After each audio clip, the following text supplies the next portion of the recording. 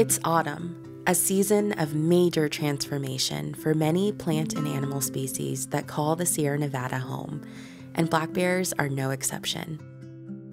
Autumn is the time of year when black bears enter an exciting physiological change known as hyperphagia. Hyperphagia forces black bears into eating overdrive, cueing their bodies to start consuming a lot more calories in preparation for hibernation. Adults must consume as many as 20 to 24,000 calories a day in order to increase their fat stores and body weight to survive the long winter months ahead when food is scarce.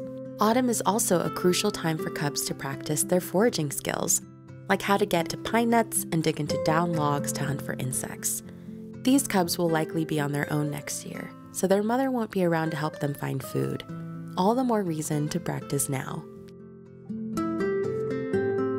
But some curious bears will look elsewhere for food, not out in the wild, but rather in our campgrounds, neighborhoods, and other developed areas, where bears will try to snag an easy, calorie dense meal from our human food and garbage.